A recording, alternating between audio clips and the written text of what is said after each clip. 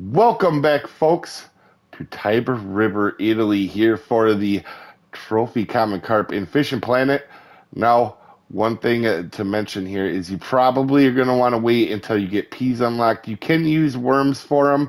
Um, before that, they are pretty slow, or duck mussel meat right here.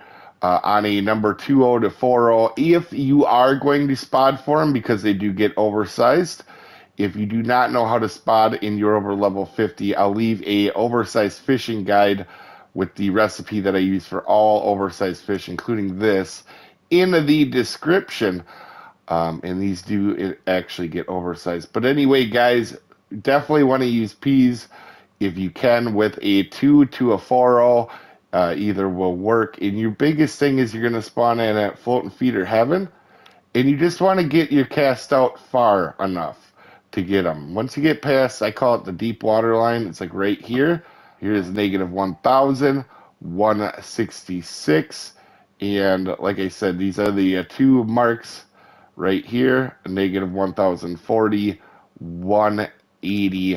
Uh, and you just want to get out past that. Anywhere out there, you will be able to catch them, um, you know, with not too much problems. And if you see here in the my bag, if you look, with peas, you don't really catch anything else. You're just going to catch the uh, common carp. That's why I recommended waiting till later when peas make this a much easier, or small boilies will make this a much easier process. Anyway, you guys have a wonderful day, and I'll see you next time, folks. Have a good one.